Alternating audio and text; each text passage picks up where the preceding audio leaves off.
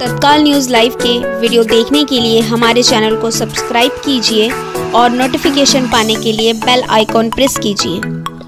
नमस्कार, मैं हूँ सोनिका और आप देख रहे हो तत्काल न्यूज़ लाइव। वाड़ी क्षेत्र के वाटर प्लांट बंद होने की वजह से सैकड़ों रोज़गार चले गए।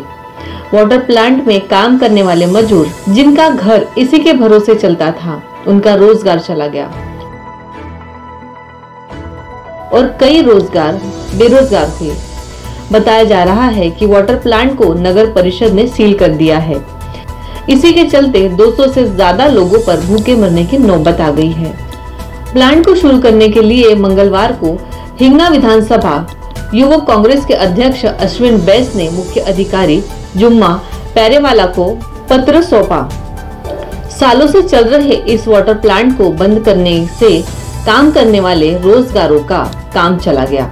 लेकिन अचानक नगर परिषद ने 20 वाटर प्लांट को नोटिस देकर सील कर दिया गया। अब अगर वाटर प्लांट शुरू करना है तो नब की अनुमति फ़ूड एंड ड्रग्स सीजीडब्ल्यू की अनुमति के बाद प्लांट को चला सकेंगे। Certification of examination for ground water विभाग को प्लांट को सील करने के आदेश दिए हैं।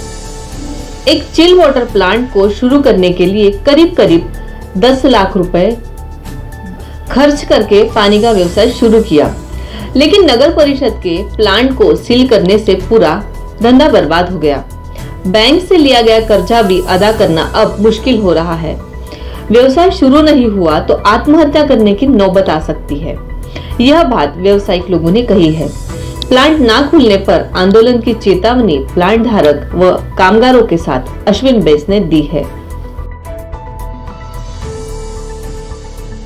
राष्ट्रीय हरित लवाद म्हणजेच N G T national green ट्रिब्युनलने पूर्ण राष्ट्र म्हणजे आपल्या महाराष्ट्रासाठी आणि देशासाठी की जे वॉटर डिप्लेशन होत आहे जे पाण्याची पातळीचा ऱ्हास होत आहे त्या निमित्ताने एक डिसिजन दिलेला आहे. आणि त्या डिसिजनमध्ये जे वॉटर कॅन्स आहे किंवा वॉटरचं फिल्टर करून व्यवसाय करणारे लोक आहे त्यांना फूड ड्रग्स अँड फ्रूट डिपार्टमेंटचा एन ओ सी आणि जे नॅशनल ग्राउंड वॉटर डिपार्टमेंट आहे त्याची एन ओ सी शिवाय कोणतेही व्यवसाय चालणार नाही अशी आदेश दिलेले आहे. या आदेशामध्ये असंही म्हटलेलं आहे की जे या दोन एन ओ सी शिवाय जे लोक असा व्यवसाय करत असेल तर त्या व्यवसायाला तात्काळ त्या ठिकाणच्या याला व्यवसायाला सील करावं असे आदेश एन जी टीने महाराष्ट्र पोल्युशन कंट्रोल बोर्डाला दिले आणि कंट्रोल बोर्डाने महाराष्ट्र एम पी सी बीने संबंधित नगरपालिकांना ते सील करण्याबाबत आदेश दिलेले आहेत.